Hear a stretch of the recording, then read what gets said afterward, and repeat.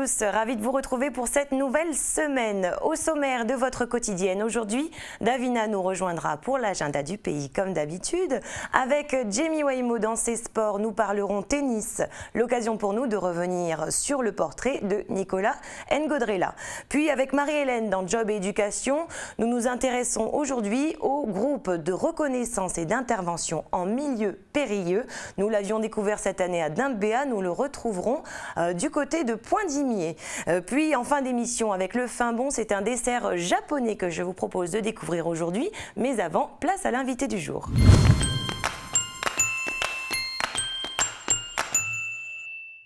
Et j'accueille aujourd'hui Thomas Burelli. Vous êtes doctorant en droit à l'Université d'Ottawa. Bonjour. Bonjour. Alors, euh, quelle est votre spécialité? Quel est le sujet de, votre recherche, de vos recherches? Alors moi donc je viens de l'université d'Ottawa, euh, je travaille sous la direction de la professeure Sophie Thériault mhm. et je suis rattaché à la chaire de recherche du Canada sur la diversité juridique et les peuples autochtones qui est dirigée par le professeur Ghislain Otis. Et donc mes spécialités sont le droit de l'environnement, le droit de la propriété intellectuelle et le droit des peuples autochtones. Euh, mes recherches portent sur les relations entre les chercheurs scientifiques et les communautés autochtones.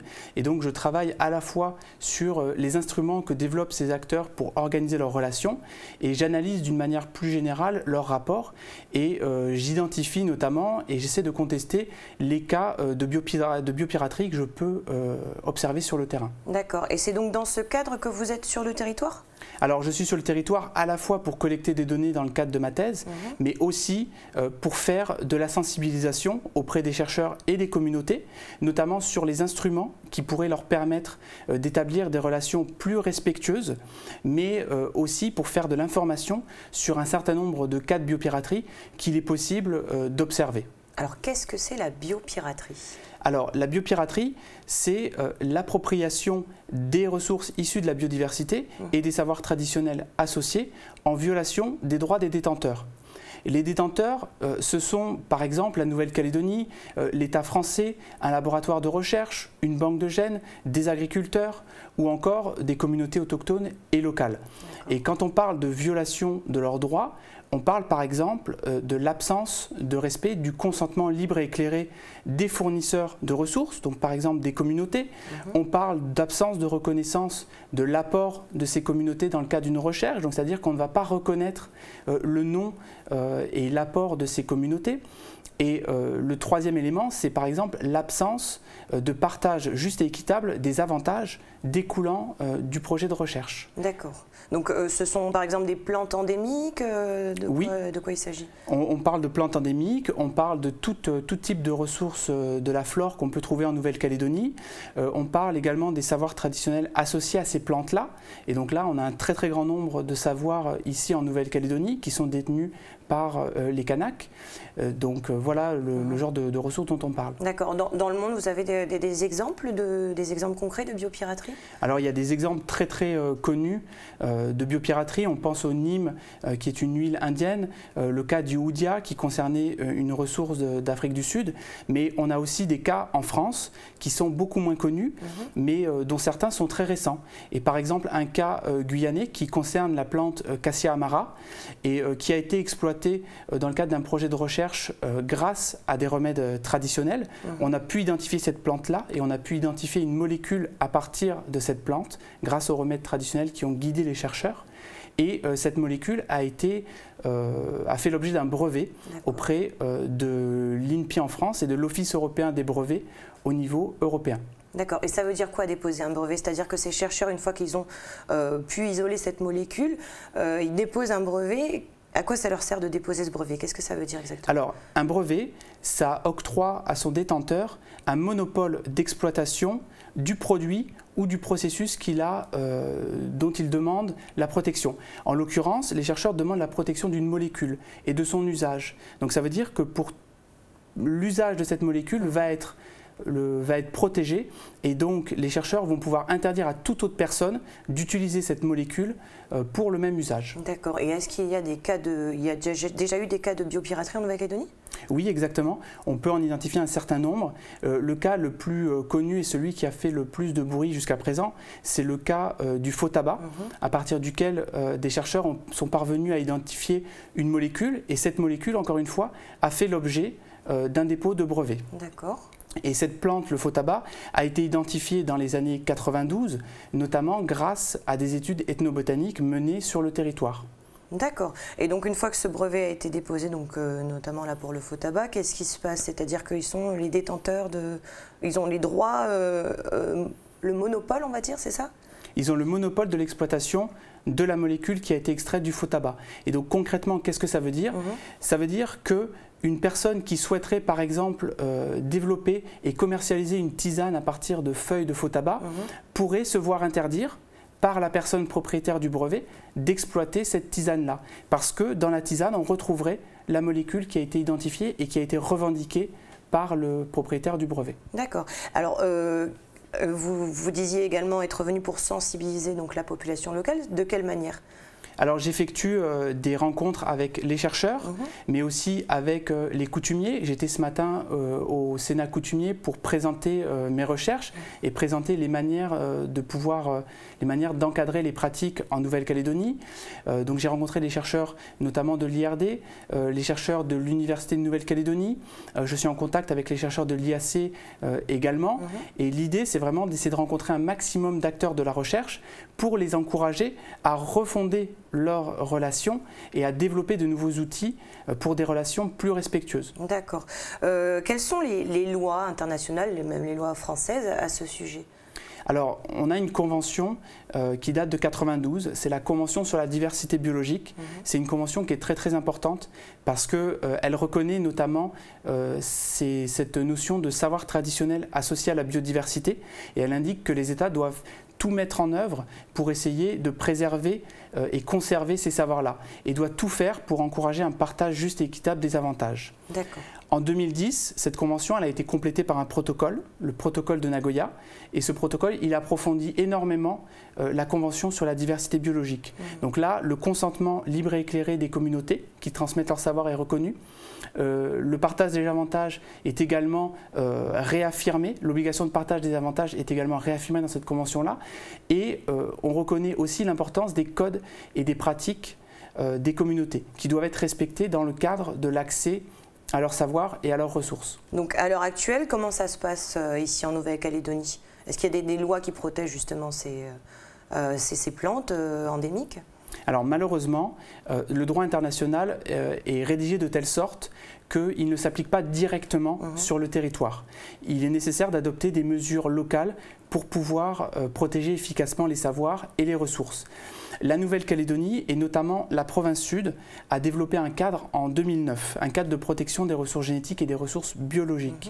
Mhm. Euh, ce cadre-là était le premier cadre à l'époque euh, dans l'outre-mer français et en France de manière euh, générale. Au-delà de ça, vous n'avez pas d'autre cadre euh, existant en Nouvelle-Calédonie. Vous avez un projet de loi de pays sur la protection des savoirs traditionnels qui a été développé en 2010 mhm. et dont une nouvelle version a été développée en 2014, si je ne me trompe pas, et qui est aujourd'hui en cours d'adoption. Euh, la première version euh, n'a pas pu être adoptée pour une, question, une simple question de compétence de la Nouvelle-Calédonie, mhm. mais aujourd'hui, il n'existe plus aucun obstacle à l'adoption de cette réglementation. Donc aujourd'hui, il n'existe pas de réglementation euh, directement applicable pour ces questions-là. Mais on peut mettre en place des stratégies alternatives. Alors quel, euh, recours justement on a quand euh, des chercheurs déposent un brevet par exemple? Alors, on peut s'opposer à ce, dépôt de brevet? Comment, Exactement. il, y a des, il y a des mécanismes qui existent selon l'état du brevet. Donc, lorsque le brevet n'est pas encore délivré, mhm. il est possible à toute personne, quel que soit son intérêt, de déposer des observations auprès de l'INPI ou de l'Office euh, européen des brevets. Et donc c'est très facile, mhm. il suffit euh, de remplir un formulaire sur Internet, tout cela est gratuit, c'est un petit peu technique certes, mais tout le monde peut envoyer les informations qu'il désire. Euh, moi je l'ai fait moi-même pour, pour un brevet. Oui. Et donc c'est accessible à tout le monde. Et même si les questions sont parfois compliquées, etc., c'est pas grave. Il suffit euh, d'indiquer euh, les informations qui vous paraissent pertinentes et qui seront euh, nécessairement, en tout cas, lues par les examinateurs et peut-être qui seront peut-être prises en compte. Dans la balance. Exactement. Alors, est-ce qu'il y a un contact ici si on est intéressé? Est-ce qu'il y a un contact local, par exemple, pour ben, à ce sujet? Oui, alors moi je travaille en partenariat avec le CNDPA et en particulier DixIU. D'accord, donc, le euh, Conseil national pour euh, les droits du peuple autochtone de Kanak-Nouvelle-Calédonie. Exactement. Et donc il y a un numéro de téléphone? Oui. Alors c'est le, euh, je l'ai moi le numéro, c'est le 84 76 73 pour le CNDPA. Et sinon on peut contacter directement le standard du Sénat coutumier, le 24 20 00. Eh bien merci beaucoup Monsieur Burelli d'avoir été avec nous aujourd'hui. Merci à vous.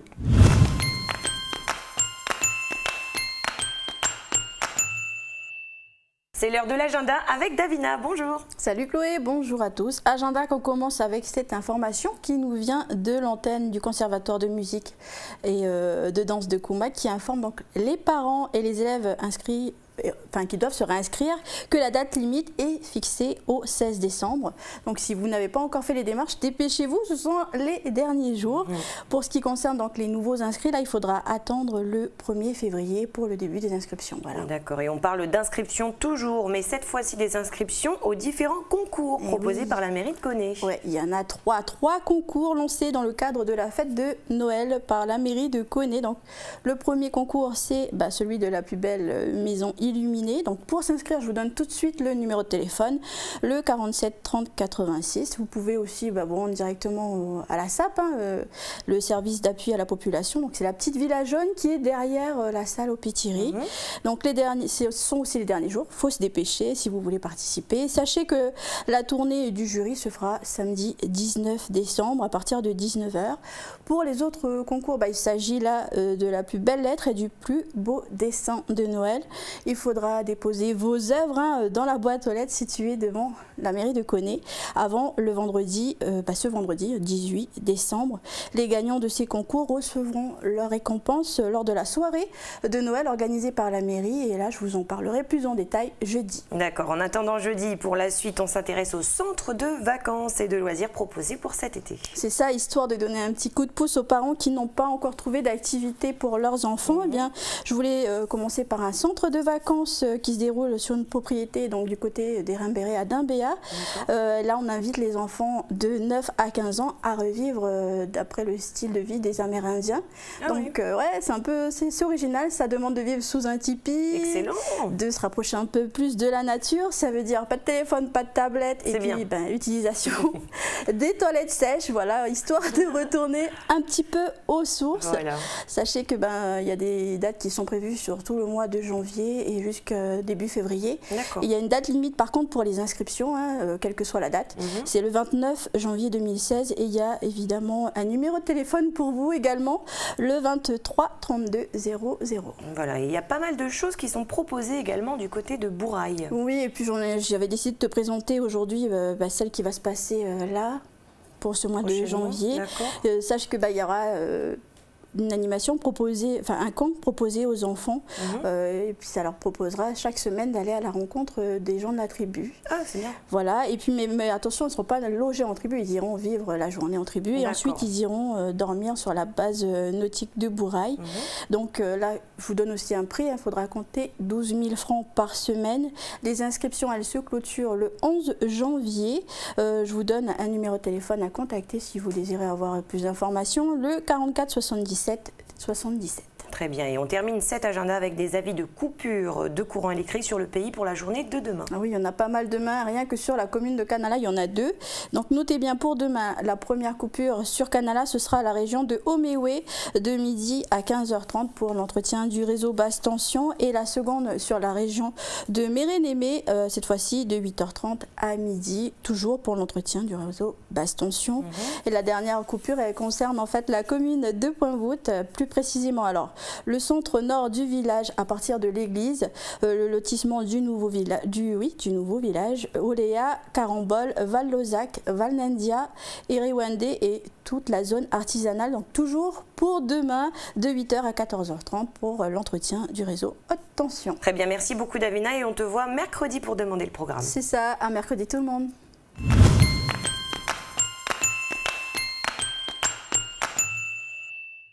Bonjour Jamie, un tournoi international attend les passionnés de tennis. C'est ça Chloé, bonjour et bonjour à tous. Comme à l'accoutumée, du 4 au 9 janvier prochain, donc 2016, le pays accueillera le Challenge ATP, l'occasion donc pour nos tennismen de pouvoir euh, rencontrer des joueurs classés et qui figurent donc parmi le top 50, Tsonga, Simon Anderson, donc le sud-africain, Dimitrov ou encore Benoît Père, ce sont des joueurs qui figurent actuellement parmi le top 50 du euh, du classement ATP et qui sont déjà venus en Nouvelle-Calédonie, Chloé, pour participer justement pardon, à ce challenge ATP. Donc, encore une fois, je le répète, c'est vraiment l'occasion pour nos tennismen de pouvoir mesurer, bah, de pouvoir euh, voir le travail qu'il leur reste à faire et comment euh, s'est passée une, année de travail, donc une saison. C'est en effet un rendez-vous de grande envergure. Voilà, pour le public et surtout pour les joueurs. Donc, une grande fête sportive. L'an dernier, le tournoi a été remporté par Adrian Mendes Messera, classé 44e au classement de l'ATP, qui je le rappelle,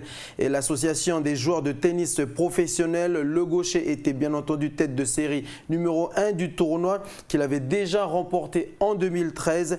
Et l'an dernier, il a battu en finale le Belge Steve Darcis.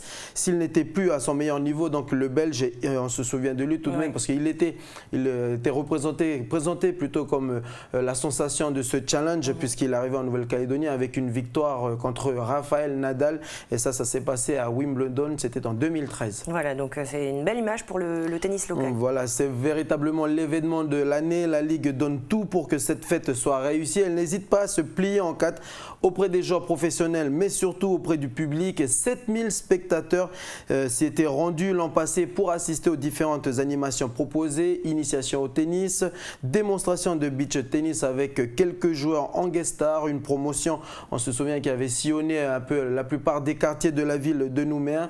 Et puis enfin, en marge des matchs, la Ligue avait mis en place euh, un moment intitulé La clinique des pros. C'est un temps réservé en matinée pour que les jeunes joueurs des différents clubs de Nouméa puissent euh, taper la balle avec les joueurs professionnels euh, invités pour ce challenge ATP. Alors, qui seront les Calédoniens présents lors du challenge 2016 Alors, Maxime Chazal, ce n'est pas une grande surprise, qui est le seul Calédonien à être classé dans le circuit pro. Il sera très attendu par le public local avec son premier titre national, Chloé Glané plutôt, en septembre dernier, mhm. champion de France deuxième série décroché à Roland Garros. Et puis il y a aussi euh, Nicolas Elgodrella euh, qui sera aussi de la partie euh, à domicile. On sait tous que Nicolas il arrive à se transcender et puis on le caractérise comme étant un joueur au moral d'acier et c'est surtout la personne que l'on surnomme Nicolas, l'homme aux trois casquettes. Regardez plutôt ce reportage.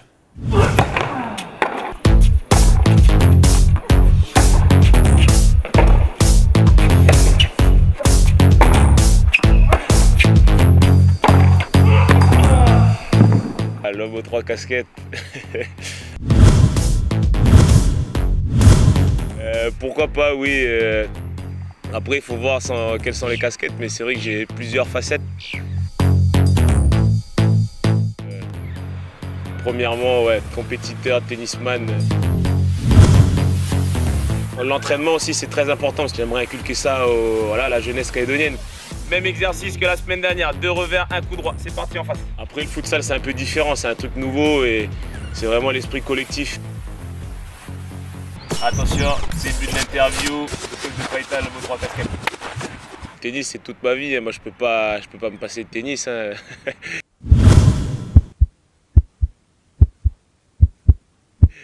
J'ai grandi dans un club de tennis, euh, j'ai marché avec mon père quand il donnait ses cours, j'attendais avec lui. Bah, c'est toute ma vie, on a, même, on a même été gérant du tennis club du Mont-Coffin, donc euh, pour dire à quel point on a, on a grandi pour la balle jeune. Donc, euh, c'est, je pourrais jamais m'en passer, je pense que je jouerai jusqu'à que, que je, ne puisse plus respirer.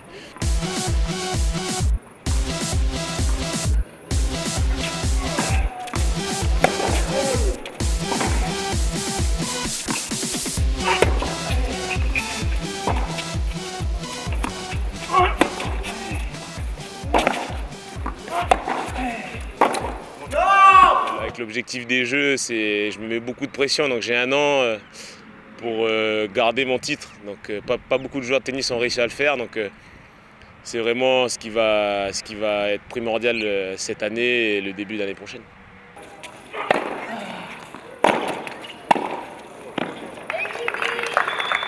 Là, en ce moment, il y a des bons petits jeunes qui montent.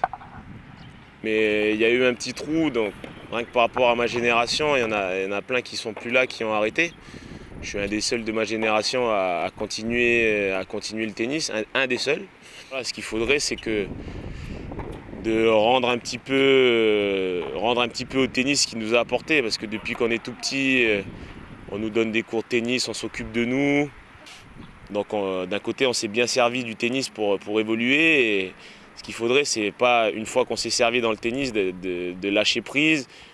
Il faudrait continuer pour que nos jeunes puissent avoir des, euh, des, repères et des adversaires pour progresser. Parce que je trouve que dans le tennis, on, a eu beaucoup de, joueurs qui ont joué, qui ont participé une, euh, à une épreuve importante et après qui ont arrêté. Donc ça fait un vide et les, générations suivantes n'ont plus trop d'adversaires. Donc euh, moi ce que j'aime bien avec mes petits voilà, de Païta, c'est que ils sont un petit peu moins branchés compétition, mais quand ils rentrent sur un terrain, ils essaient de donner leur maximum. Et nous ici, on s'amuse bien, donc euh, moi ça me va pour l'instant.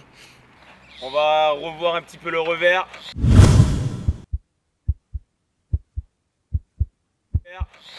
Alors vous, je commence pas avec vous, passez à côté Quentin, Nicolas, Hubert à côté. Ici avec moi, je veux Nicolas, Rémi, Thomas, Emric. Même exercice que la semaine dernière, deux revers, un coup droit. C'est parti en face. Nicoli. Allez Nicolas. Revers. Attention de ne pas être trop près là-bas. Et le dernier revers. Prépare, prépare. Et vite, qui vient plus souvent. Hein. La raquette, n'est pas derrière vite la prise en coup droit. Yes. Revers. Ça y les cibles. Et un revers, un revers, un revers. il nous fait apprendre les, services. Euh, à chaque fois qu'on fait des points, il faut qu'on touche des cibles. Du coup, euh, on est encore plus motivé et tout. Et il nous fait aussi travailler les, revers parce qu'en général, on n'est pas super bon. Moi, par contre, il fait surtout travailler les coups droits parce que je suis pas. Rémi, trois boulettes. Revers. Allez, accélère, accélère. Prépare, prépare, prépare. Yes, revers. Des fois, des fois, on fait vraiment n'importe quoi. Euh. Alors, il nous fait faire des tours de terrain. du coup, après, on est calmé, c'est sûr. Tourne vite ta prise en coup droit. Yes. Je suis content que ce soit lui, notre entraîneur, parce qu'il nous apprend beaucoup de choses. Surtout les prises. Les revers, les smash, les coups droits et les amortis. On a vraiment de la chance de l'avoir comme entraîneur. Trois dernières. Allez, allez, allez. Relève, relève, relève. Bien. Prépare, petit pas. Et la dernière boulette. Ça a toujours été un plaisir pour moi. Je me rappelle quand j'étais petit avec mon père. Euh, bah voilà, dès que je sortais de l'école, j'allais tout de suite au tennis club du Mont-Coffin. Et là, moi, ça ne me dérangeait pas de rester jusqu'à qu'il termine les cours tard le soir. Donc euh, je suis habitué depuis vraiment que je suis tout petit. Et, c'est vraiment avec un grand plaisir que je viens chaque fois à Païta. Dès que, dès que j'arrive là, les petits sont sympas, ils ont tout le temps envie de jouer. Il n'y en a pas un qui. en a pas un qui vient entrer dans les pieds, donc euh, ils sont tous motivés. Et, c'est vraiment un grand plaisir pour moi de venir euh, donner mes cours de tennis ici.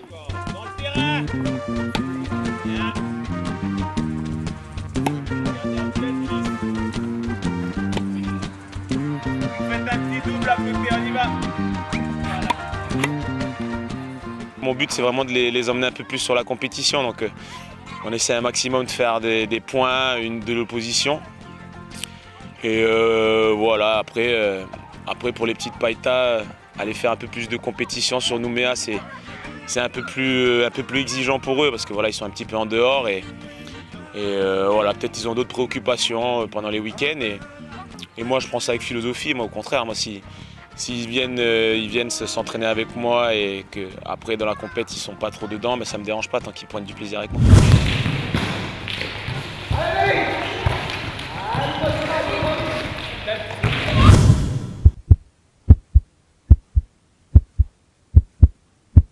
Ok, euh...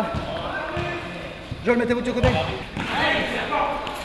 Jeu du Pacifique, on est quatre tennisman pour la Calédonie, mais c'est par équipe. quoi chacun est là pour l'autre euh, et pendant deux semaines, euh, on sait qu'on peut compter sur les autres et c'est ça qui me manque un petit peu en dehors des Jeux du Pacifique et je l'ai retrouvé un petit peu dans le futsal et avec le FC Ferrand et voilà on est une famille.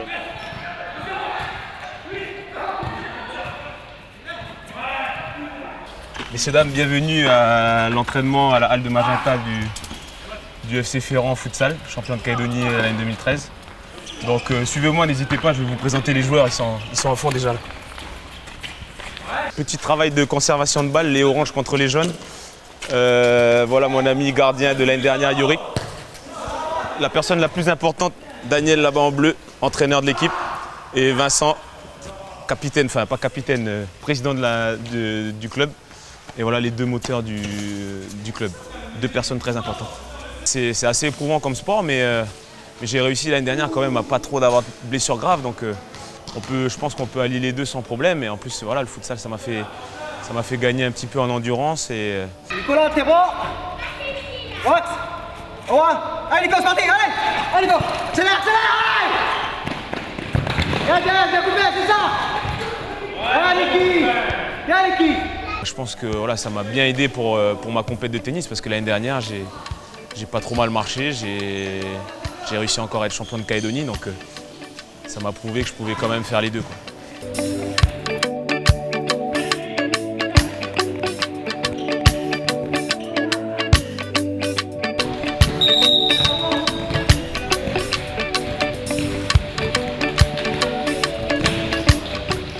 Et avec le FC Ferrand. Et voilà, on est une famille. On, a, on en a parlé hier, on en a parlé, parlé hier à l'entraînement. Les, joueurs du FC Ferrand, c'est une famille on est là euh, pour se souder, pour s'aider.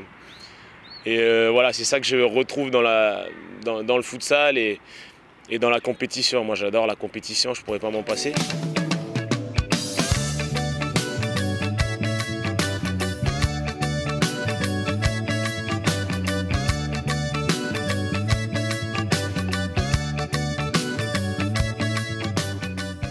Franchement, s'il n'y avait pas les, Jeux du Pacifique, je pense que je, serais, encore cette année à fond dans le futsal.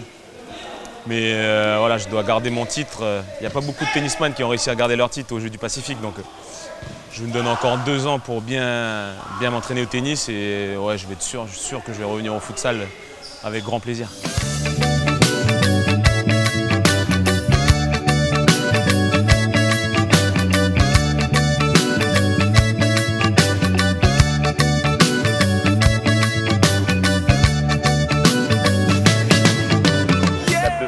Va bien, les oiseaux chantent à Païta, vive la France voilà, et on rappelle les dates du challenge ATP, Jimmy. Alors le challenge, Chloé, se déroulera, comme je le disais, euh, du 4 au 9 janvier prochain sur les cours du Wine Toro. Et on souhaite bonne chance aux joueurs calédoniens Maxime Chazal et puis bien entendu euh, Nicolas Ngodrela. Merci Chloé. Très bien, merci à toi. On se retrouve mercredi. À mercredi, merci à tous de m'avoir suivi.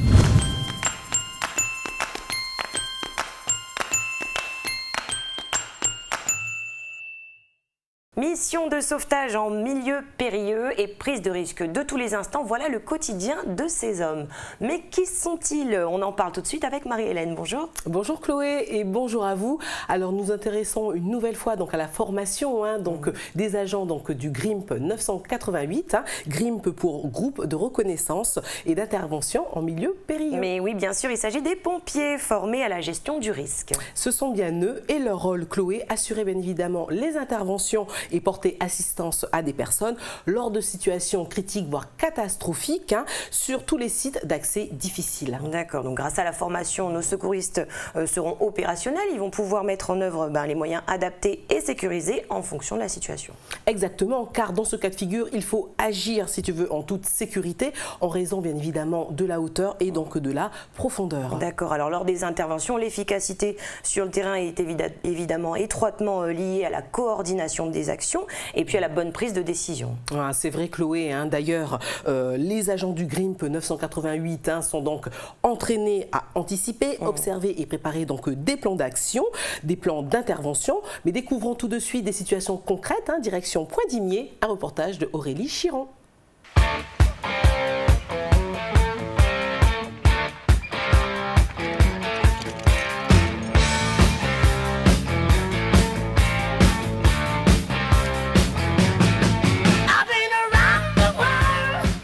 Combat, on a un peu traumatisé et un blessé léger. D'accord. Donc euh, un besoin de service pour pouvoir euh, remonter la victime en. D'accord, c'est médicalisé déjà C'est médicalisé, il y a une infirmière sur, euh, sur place. Ok, donc l'objectif pour toi c'est de remonter les personnes C'est de ici. remonter les personnes ici. D'accord, on n'a pas d'accès ailleurs, on est obligé de passer dans On le est obligé de passer par là. On va mettre en place un dispositif de tyrolienne. Ok, donc c'est impeccable, ça sera euh, coupé au niveau de la circulation. Ok, donc si c'est bon pour toi, on peut lancer la manœuvre. C'est bon pour moi. Ça marche. Mise en place d'un thermique, la potence, la suédoise, pour rehausser le niveau de corde.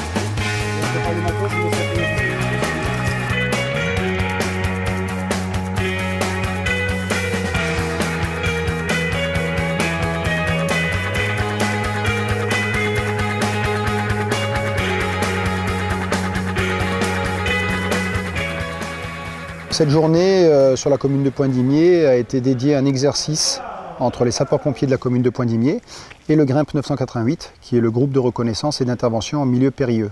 C'est une équipe qui a été créée au mois de mai dernier pour répondre euh, à l'ensemble des secours qu'on peut retrouver sur le territoire euh, dans les milieux euh, difficiles. L'objectif était de simuler quelque chose qui se rapprochait au mieux de la réalité.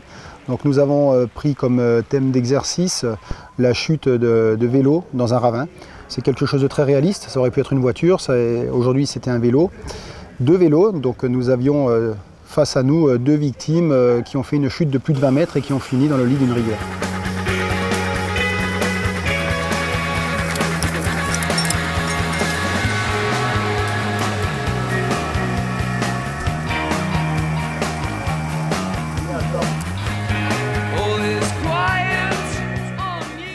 Donc sur ce genre d'intervention, chacun a sa place. C'est-à-dire que le, le grimpe, il vient en renfort sur la demande d'un commandant d'opération de secours. Donc euh, bien sûr, lorsqu'il euh, le grimpe se pointe sur intervention, il y a hum, un échange qui se fait entre les deux responsables. Chacun explique sa situation et euh, les moyens qu'il va mettre euh, à disposition pour pouvoir intervenir sur, euh, sur la victime. Donc euh, ce sont souvent des manœuvres qui se font en parallèle mais euh, qui s'imbriquent bien l'une dans l'autre. Donc le GRIMP 988 est, le renfort et, le moyen qui est à disposition de l'ensemble des, des services de secours du territoire, puisque les sapeurs-pompiers sont les premiers à intervenir.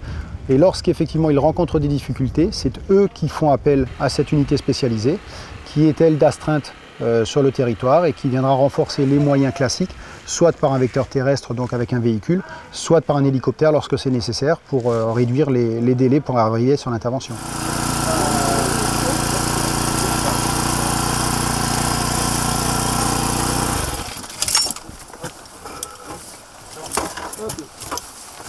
Sort en sécurité, on l'a mis à disposition de l'ambulance. Donc là, la personne a été sortie. On la sort dans l'axe de notre potence. Donc elles sont en sécurité. Donc ça s'est très bien passé. La victime est mise à disposition de l'ambulance, et du médecin. On se prépare pour faire la deuxième manœuvre puisqu'on va récupérer la deuxième personne.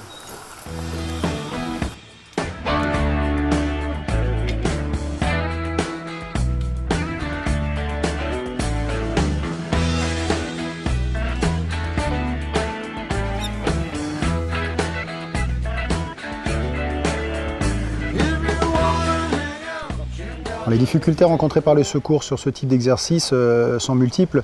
D'une part, l'accès, puisqu'on se rend compte effectivement que les secours se présentent et sont face à un vide d'une vingtaine de mètres.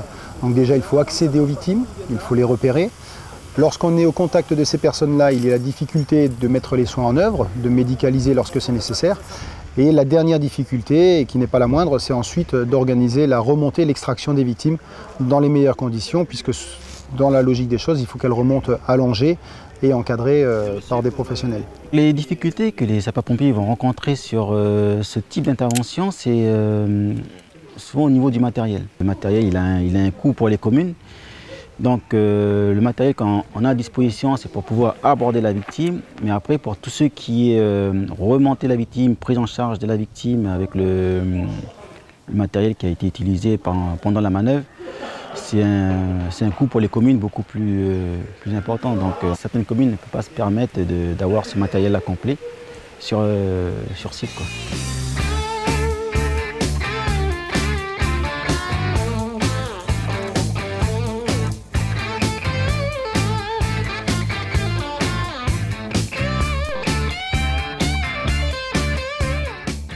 Le fait de faire des exercices, c'est quelque chose de très important pour nous. Ça permet aux gens de se connaître, ça permet aux gens de comprendre les missions de chacun et ça permet surtout de mettre le matériel en œuvre et d'évoluer ensemble et donc de voir les difficultés qu'on peut rencontrer mais aussi les solutions qu'on peut apporter les uns aux autres.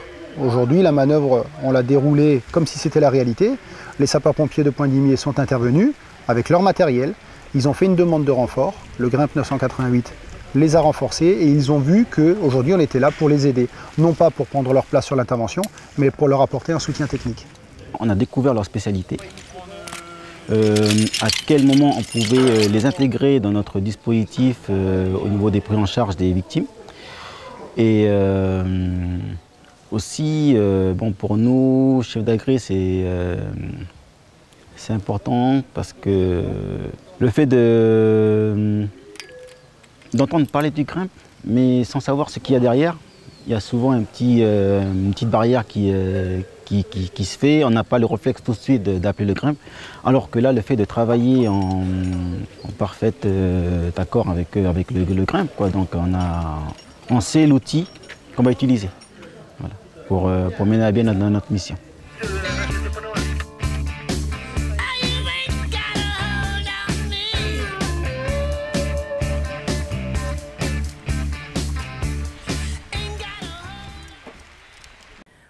C'est toujours impressionnant de voir les moyens euh, déployés lors d'un exercice de sécurité civile. Ah oui, et puis tu sais que ces techniques hein, justement particulières et le savoir-faire donc qui est utilisé pour ce type donc euh, d'intervention hein, s'inspire de celles que l'on retrouve dans le domaine donc de la spéléologie ah et donc de l'alpinisme. S'organiser, coordonner la gestion euh, d'un risque, c'est tout nouveau pour nous puisque la compétence de la Calédonie en termes de sécurité civile date du 1er janvier 2014. Et oui, hein, cela fera bientôt deux ans, dans quelques semaines. Quant au GRIMP, sa création s'est faite cette année en mai 2015 en partenariat avec donc l'école d'application de la sécurité civile mhm. et le Centre national donc, de formation GRIMP. Et on en profite pour rappeler que le groupe de reconnaissance et d'intervention en milieu périlleux 988 dépend de la DSCGR, la direction de la sécurité civile et de la gestion des risques de la Nouvelle-Calédonie. Absolument Chloé. Et puis il faut savoir que donc hein, le GRIMP, euh, groupe de reconnaissance et d'intervention en milieu périlleux, donc est une spécialité hein, que l'on retrouve également dans d'autres pays. Mhm.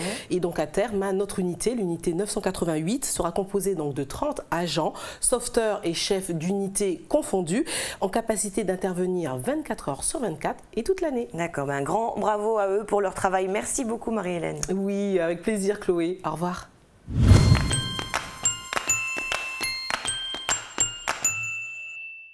C'est un dessert japonais que je vous propose de découvrir pour le fin bon du jour, le omochi sucré, une recette proposée par Yumi et filmée par Alexandre Sigura. On regarde.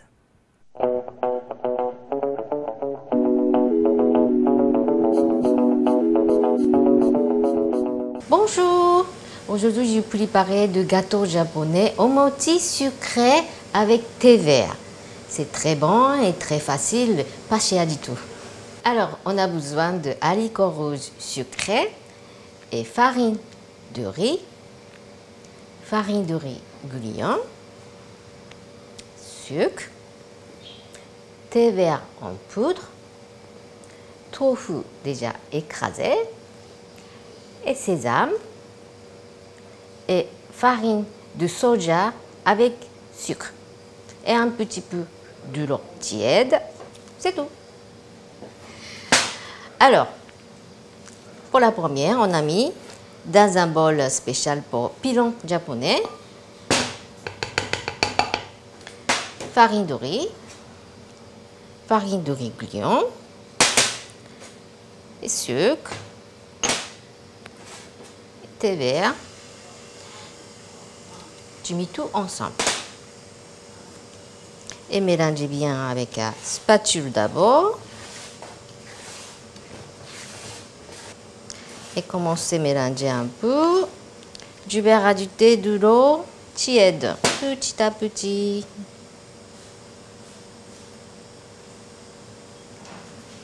Ça aussi, mélanger avec la spatule.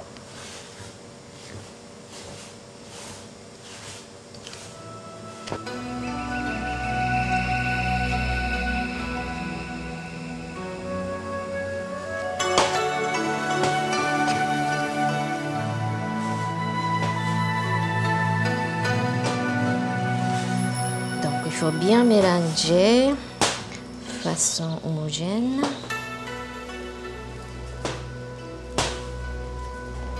Quand ça commençait à peu près comme ça, je vais rajouter du tofu écrasé.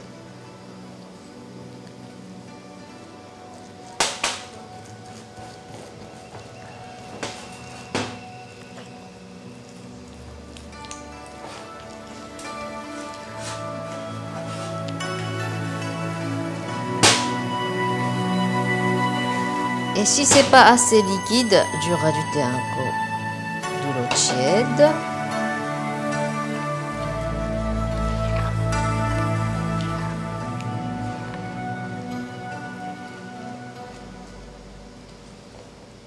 Et à la fin, je tape avec un bâton d'épilon parce qu'il y a un amonceau de tofu qui reste.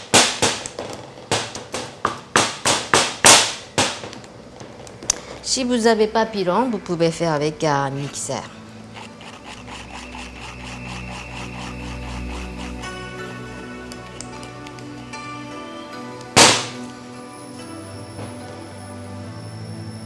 Après, quand vous allez bien mélanger, on va chauffer avec un micro-ondes. Alors du couvert avec assiette, on va mettre dans un micro-ondes pour deux minutes.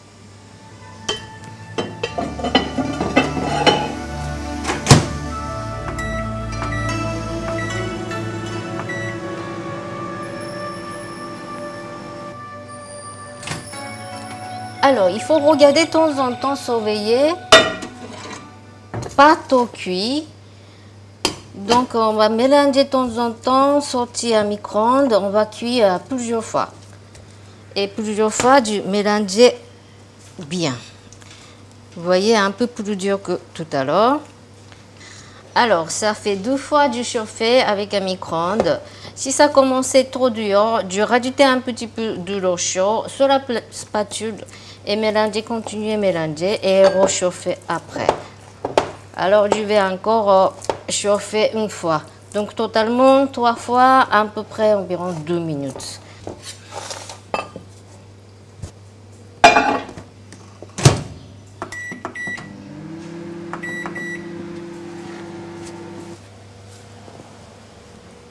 Alors, c'est fini comme ça, à peu près élastiqué.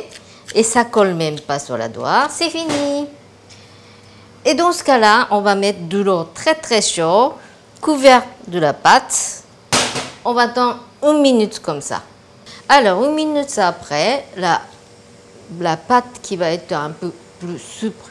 Donc, je, je jeter de l'eau chaude ici. Après, je commence à taper. Quand je tape, le bâton, il faut mouiller de temps en temps. Comme ça.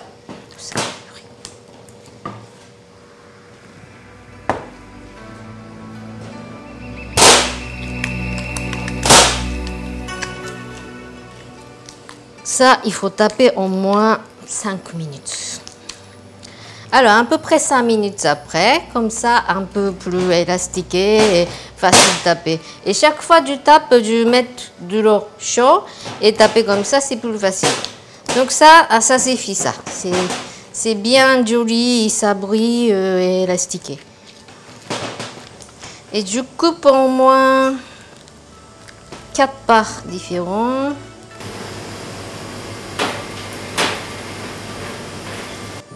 Voilà.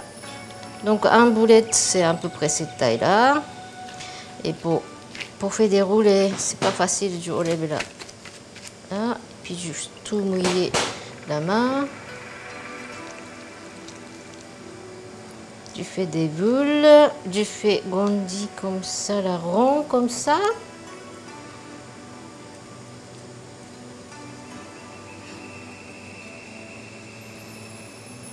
Voilà comme ça. Et je mets un licor rouge sucré au milieu. Et fermé. Tac. Donc c'est bien fermé. Et des fait des jolis ovales. Et la poudre de soja déjà préparée, du rouler dessus. Et du mis sur la assiette. Ah, c'est fini. Je fais les autres avec un sésame. Sésame dessous celui-là.